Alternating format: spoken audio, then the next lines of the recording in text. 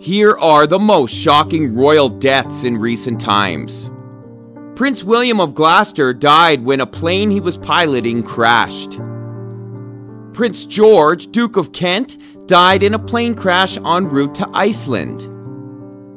Lord Louis Mountbatten was killed in a terrorist attack while vacationing in Ireland.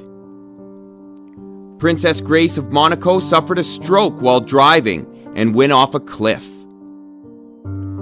Princess Diana is perhaps the most famous unexpected royal death of all time. Diana boarded a limo in Paris. The vehicle was said to exceed the speed limit and crashed into a cement column.